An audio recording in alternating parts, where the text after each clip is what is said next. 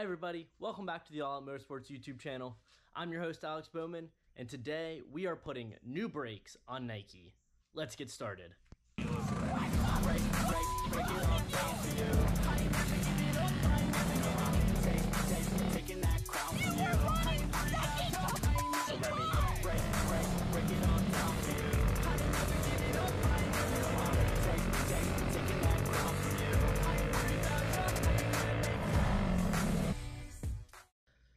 So, kind of like I touched on in the last video, I do not like the new style brakes that came on Nike.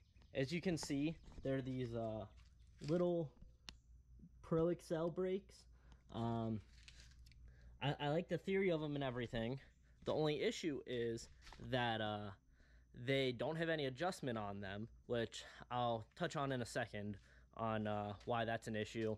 And then uh, also, the bigger issue is that they are notorious for having their seals blow out and then all the fluid comes out and then you don't have brakes. So I got some new brakes to replace these and uh, yeah, hopefully that'll help a lot more. Uh, these new brakes I have actually have adjustment on them. So what I had to do with these Pro Excel brakes to get them where I like them is, uh, so if you can see in there, you can kind of see right next to the, the little bit of gap there is there.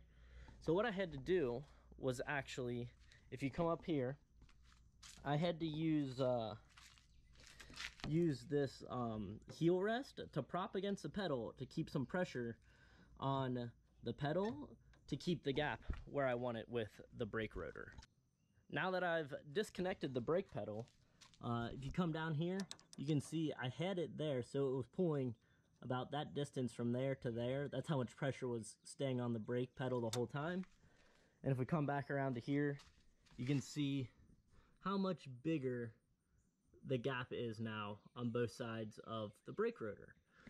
Which, I don't like there to be that big of a gap. I like the brake rotor and the brake pad to be like a centimeter apart from each other. That way, as soon as I touch the brake, they start engaging and there's no extra play or travel or anything in there.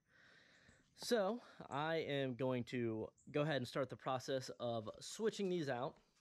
Uh, if you check it out, these are the new brakes that I got. They're just typical MCP brakes. Um, they're not the mini light brakes.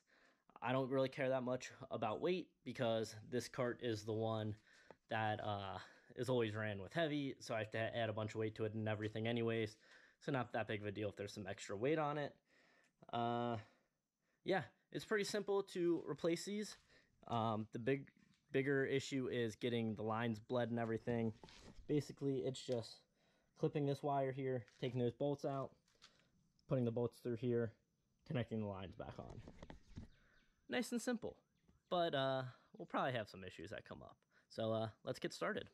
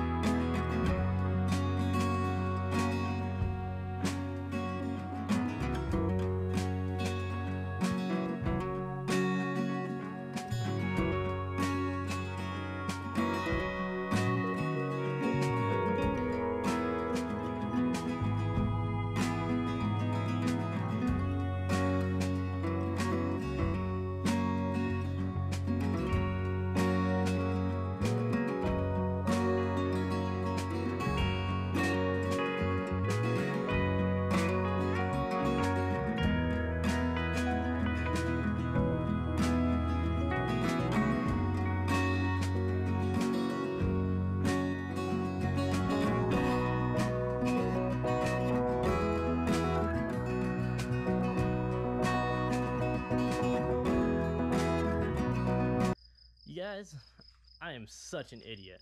So I've been working on these brakes for a long time.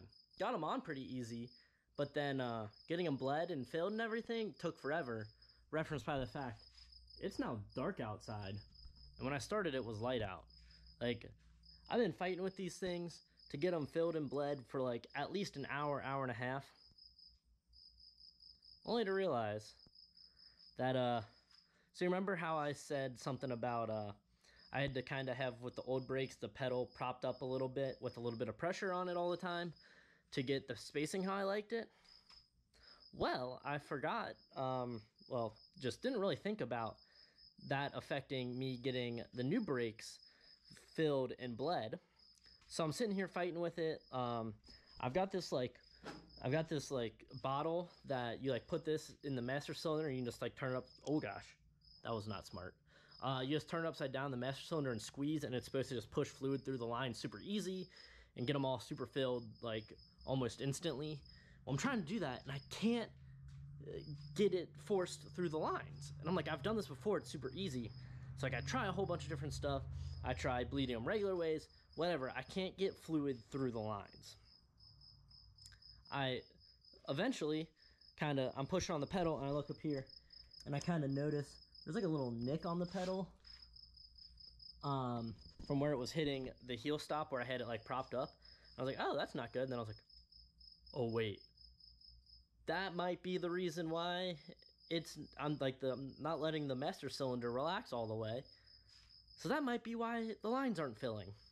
So I took the heel stop off let it relax all the way, and the line the lines immediately filled.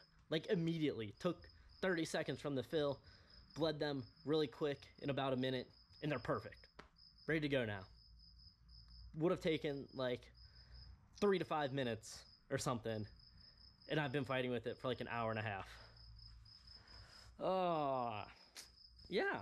So that's what I mean when I say uh, sometimes things don't always go the way that I'm hoping. So that was very frustrating. And now I have quite the mess too, because in the process of doing all that, brake fluid got everywhere. Like, I've already partially cleaned it up some, but like, this is all brake fluid here. There's a bunch like up in here. Like, the stand's all covered in it. That's all old brake fluid and stuff. So I've got quite the mess to clean up now. And I'm feeling kind of stupid. But you know what? You live and you learn. Um, I know a bit more about how uh, master cylinders work now too. So uh, these brakes better work and I better like them is all I can say. all right, got that all cleaned up, everything taken care taken care of. Um, one thing I need to finish up the brakes is uh, with the extra width of these, the bolt that was in there isn't quite long enough. Uh, it doesn't really go all the way through the nut, so I'm gonna have to go and get some longer bolts for that and then once I do that I'll be able to put the um, put the guard back on and really button everything up but that won't really affect anything that that'll be super easy to do once I go get that bolt yeah so uh, should have been a pretty easy project ended up being a lot longer but you know that happens sometimes uh kind of distracted right now there's some really big bugs flying around in the garage right now. I don't. One of them. I don't know where it just went. Um, but there's been like big beetles, and there was a spider like that big around, and then like something else flying around up by the light, and yeah. I don't like. It. I don't like bugs. I was fine with the cicadas; they were cool. Everything else is uh, nah. So yeah, I don't like that. I was to show you guys them, but they all are missing right now, which scares me even more. Yeah.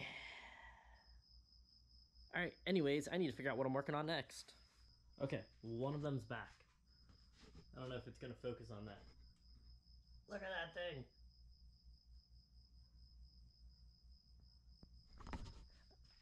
Oh, come on, focus back, focus back, there we go. I don't know what that thing is, but, uh, I don't like it. It keeps flying around my head too. Upon further deliberation, I decided I'm just going to call it a night for tonight. Um, I don't really have a ton to do because Uh, the racing this past weekend didn't happen due to rain, and everything was kind of pretty much ready to go already. Uh, the biggest project I had was getting those brakes done.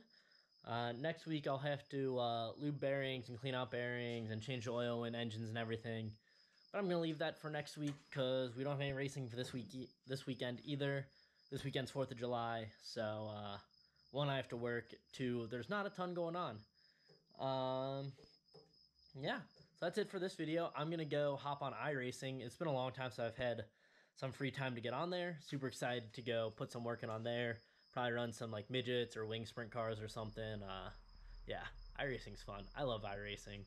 Uh, I actually have a video coming out on that uh, middle of July.